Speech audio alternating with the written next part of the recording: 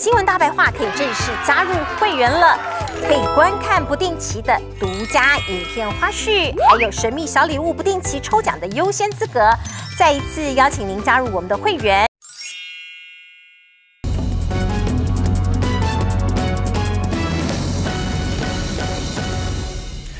来 TBS 新闻大白话，我们警方为了柬埔寨这个诈骗案，实在是传频传越来越多了。那么很多传闻就说，为什么我们要救人都没有办法靠警方、靠政府，还要靠民间机构？所以警方动作开始越来比较积极了。他怎么做呢？他在机场举牌，就说能救一个是一个哦。警察到机场去举牌，告诉大家说，因为柬埔寨诈骗频频，要民众不要再被骗了哟。来看看这段画面。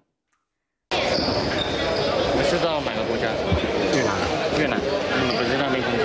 是，就是我都要回去，你们来送机。啊？我们一回来跟他一起来送机的。哦。他应该没有什么需要协助的。不用不用不用不用。好，谢谢。总觉得警察的询问也问的挺尴尬的啦。哦，他的工作任务被长官指派嘛，要来举牌啊，一个个这样问，你要去柬柬埔寨有没有问题？哎，这样举牌真的有用吗？那柯批就笑他说，警察现在只能去举牌吗？没有别的事可以做了吗？那真的是他能做多少算多少，能救一个是一个。就相信这样举牌问完之后，又有可能就放弃登机嘛？这个几率恐怕也不高。但是呢，我们看看为什么还需要这么多不停的动作？是因因为一个 Kimoji 觉得警方要做什么啊？尾塞输人不输阵啊！因为连出慈济又是民间出手哦，跟我们的疫苗一样，救回了两个台湾人在当地哦。那包括之前白狼啊，也是说，哎，也是有地方的想办法，警方帮面上无光啊，呃，总让其他民间的力量才能够救回人吗？那救援受害者连网红哦都付钱。普在说救了四十个台湾人，这么厉害啊！那当然，警方要做点事情喽。至少镜头，他刚刚那个是他的宣传片，表示他们在做事情。但是呢，还有柬埔寨一些所谓柬埔寨女婿揭发当地的现况，是说哦，当地普遍薪资才新台币六千到九千元，怎么可能网络上开出来台币七万五千元的职缺？那大家就会一窝蜂的去。那么他笑说：“这个叫做无知，不叫善良啦。被朋友骗去叫天真，被骗去的人真的以为自己是万中无一的幸运儿，因为这个比例哦，跟实际的行情、市场状况实在是太离谱了。但为什么会被骗呢？其实这个真的是一个关键。台北市长柯文哲说：如果人人都能安居乐业，台湾如果大家都赚很多钱，薪水很好，过得很好，谁想冒险远走他乡？”如果不是走投无路哦，或者年轻人没有更好的工作机会的话，怎么会想去柬埔寨淘金？所以呢，过去什么岳飞应急人士来台为工作、为生活，把小孩放着，然后寄钱回去这种生活，想不到台湾现在也面对了这样的局面，不是不是也是我们自己的不争气呢？所以被说这是南向政策啊，谁宣布？蔡英文总统。二零一九年他说我们不要老是要靠中国大陆，我们要南向新南向政策。二零一九年他宣布的时候呢，他告诉大家新。南南向政策不会是空炮弹啊，赢赢在这个赢啊是要赢的，赢在新南向的高峰论坛。结果呢？二零一六还成立了新南向政策办公室，直属总统府，指派主任黄志芳。现在看到的是这样的新南向吗？我们很多企业都说去新南向出了多少的问题，真的有赚到钱吗？哎，这个东西，这个政策也就不了了之。反而现在取而代之是柬埔寨的诈骗案的新南向。那么大家看啊，就是大家年轻人赚钱这么辛苦，要冒着生命危险、身家危险被骗去柬埔寨，可是有些人只要是预设权贵，好容易赚呐哦。最新的一则报道是说，管碧玲的女婿。他去驻泰国，还不用外交特考的，去到泰国去当一个聘任的驻泰的秘书，是代表的童振源的机要秘书。那一第一时间报道是说十五万，然后就立刻这个童振源跳出来痛批说这假新闻骗人，他没有那么高，没有啦，没有那么高，十五万有十三万多啦，哈，十三万多，对我们台湾民众也是蛮高的。你看看去柬埔寨也才十万七万，他就去了，那他十三万还不用太多的考试。那其中呢，民党立委管碧。你还说自己真的冤枉哦，然后这个外交部任用机要秘书都有，两党之间都有很冤枉吗？但只有你的女婿可以去做这个位置，而且轻松快乐，领高薪啊。那么柬埔寨制定下的新南向政策，联合新闻网的分析说，社论说，可以看出来。整个台湾跟当地连接的脆弱之外，这只是冰山一角。而台湾跟新南向国家的经贸往来已经成长减缓，柬埔寨甚至有弱化的现象。那以这样来看，台湾最好的生意是什么？其实是选举啊，只要。颜色正确，大家赚薪水容易太多了。年轻人，然后打打拼努力不如颜色正确吗？这个是我当然不这么认为，但是事实很多的例子告诉大家，似乎是这样啊。你看看民党的副秘书长林非凡，现在是零九万。驻美政治组组长，哎，因为声音很迷人，帮他主持了这个晚会，结果呢，年薪现在是二二两百八十八万，到美国去驻美国，当然现在回来选举了啊。现在还有谢长廷的子弟兵，之前驻日之役的刘家凯，年薪也是一百八十万啊。陈柏维哦，因为他被罢免了嘛，现在去当呃节目主持人，哎，可是他也是一度被提拔就可以飞黄腾达吗？当然被罢免是因为人民不接受，又是另外一件事情。还有吴乃仁的女儿吴怡清，她担任台本的董座。年薪多少？六百万。我们有多少人可以想象，我这辈子可以年薪六百万？我可能朱大可以哈，年薪六百万。洪慈庸呢，败选回国担任立法院长的尤熙坤顾问，多少？月薪也是十二万。你看，连柬埔寨这个诈骗都比不上啊，十二万。所以看上比起来的话，还有哦，例子真的举不完哦。今天有一些媒体的独家报道说，这是林传媒的独家报道说，包括了呃陈台成哦，他是陈局的侄子。多厉害！他也是内举不避亲啊，跳过董事长缔约，他的帮助陈局的子弟兵按月收顾问费到这个企业里头，企业给他一个月顾问费多少钱？三十万呢？哦，三十万给他一个月，而且不止他自己赚哦，连他的岳父也安排进去做领干薪，一个月六万块，真的也不用干嘛就有六万块。所以媒体报道这则消息的时候，总统府秘书长办公室前主任尤尚如说：“你们要查证清楚，否则有查查法律责任。”而且后来反而又改口说，印象中是二零二零年网际优势请他当顾问的合约内容是撰写相关的。咨询报告哦，他后来也证实，的确有这样按月收顾问费的这个事情。那么金属金属中心的董事长李仁义他也说，几年前的事情了，好像是二零一七年左右了哦，现在已经没有了，就拼他一年。可是，一年如果一个月三十万，还有六万月付都一起。也是很高呢，很好赚呢，跟我们大家冒着生命危险，年轻人到柬埔寨去，他们容易很多啊，朱大。没有，我今天看到那个警察举牌那个画面呢，其实坦白说看了有点心酸，因为他也知道没用，我也知道没用，长官也知道没用，但是就是得要做，因为这是唯一一个有机会拦住的机会。你去了柬埔寨，基本上以台湾目前的状况都救不回来。刚刚最新的。消息不是国民党有一一组人，然后去那个柬埔寨交流吗？对啊，那结果他们直接讲，呃，外交部能够帮忙这个人力救援人力哦，只有一个人，三十岁左右女性，在当地只有一个人，呃，就因为没有人啊，那还没完，其实当地没有正式关，没有正式外交关系，当然，他脸上受伤之后一直好不了，因为你休息不够，压力太大，变成蜂窝性组织炎，那你看。我们飞柬埔寨直飞柬埔寨的班机哦，从三班增加到现在每周八班。那你觉得这是怎么样？大家忽然之间很爱去柬埔寨玩吗？那一定是有相关的原因才会需求忽然增加。那如果照这个讲，我觉得坦白讲，这是一个系统性的问题，你没有办法简单的解决。说举个牌告诉大家不要去，因为。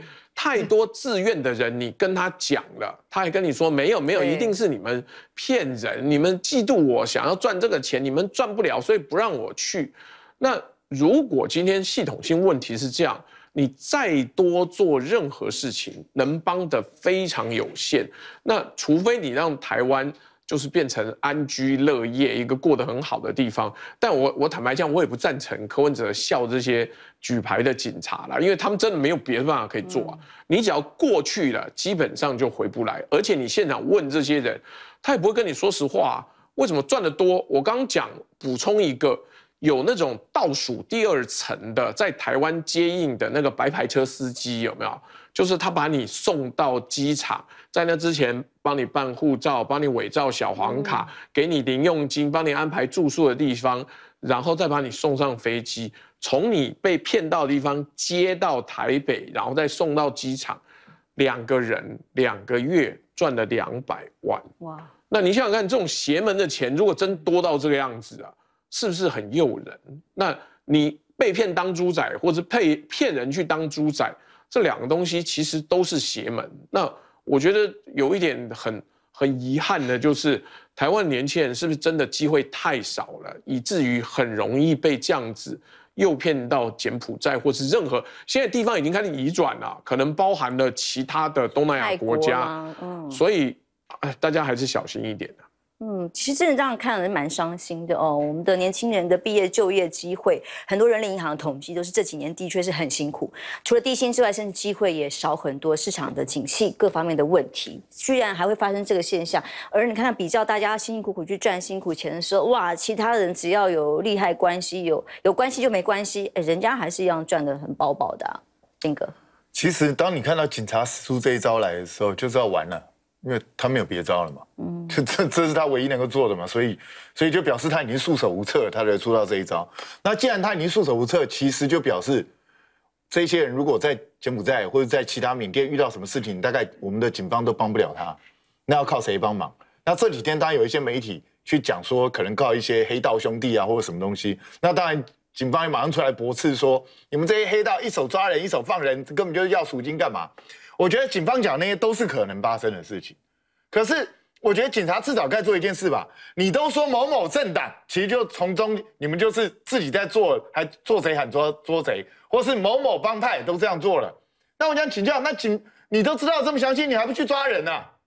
应该去把那个政党抓起来啊，去把那个帮派抓起来啊。那结果你警方只敢用影射的方式，你是警察哎，就你用影射的方式，那不是很好笑吗？那请问一下。就表示你你明知道你警方在告诉我你明知道这些人在作恶，可你拿他没辙。那那请问一下，民众到底要靠谁保障？那柯文哲讲说说只要国家安居乐业，什么大家都不会想要出去外面拼。抱歉，这句话我不能完全同意。为什么？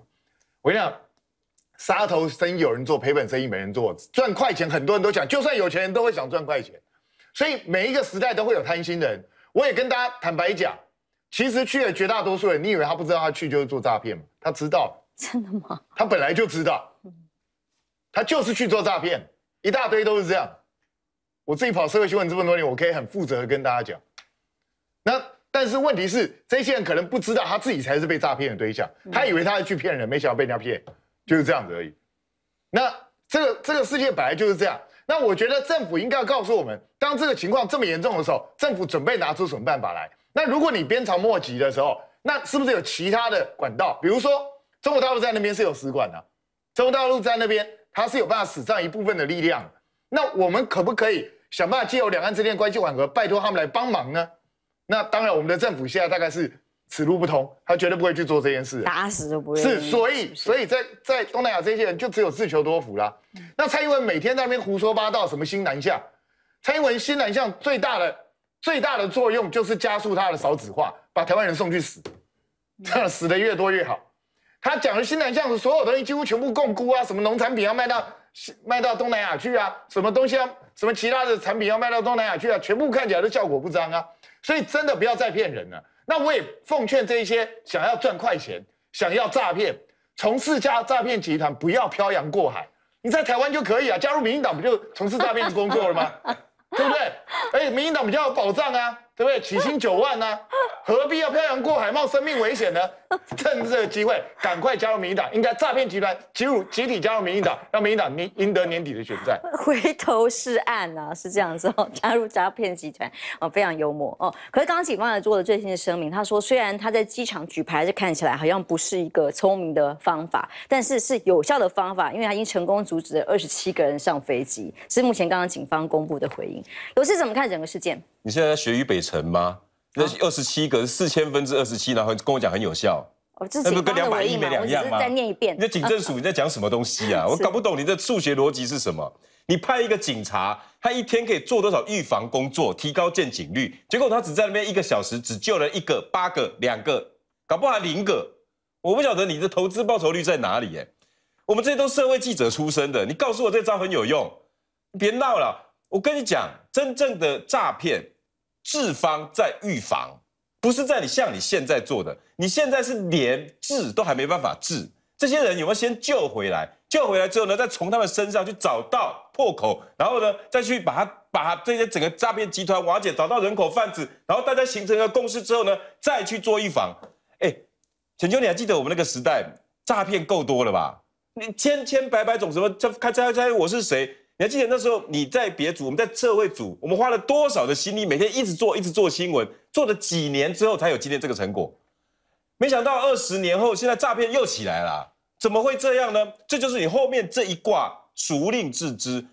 我觉得新南向政策哈，蔡英文的新南向政策就像林志坚的新竹棒球场一样，你现在全部都被人家戳破了。你到底西南向到柬埔寨，我们没有办法有钱有能力去把这些人救出来。我讲真的啦，这些人绝对没有办法利用外交关系，真正外交关系是大陆才有办法救。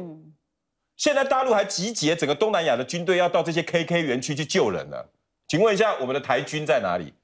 你不要告诉我又要什么超演，又要什么什么海海峡中线要固住，拜托，你现在连到柬埔寨去跟他要个人都要不到啦。我我觉得整个台湾哈，整个就像诈骗集团，然后产生的这些小诈骗集团，然后都逼着这些年轻人去当大诈骗集团，大诈骗集团扶植小诈骗集团，然后呢让小诈骗集团吸收新的诈骗成员。台湾现在才开始真正叫诈骗之岛，是因为民进党开始。兵哥的话，我百分之百赞成啦，一整排爱心刷起来。是新南向政策的结果，现在看起来好像是打水漂，反而在柬埔寨这件事情才真的看到了所谓的新南向政策嘛。休息一下，马上回来。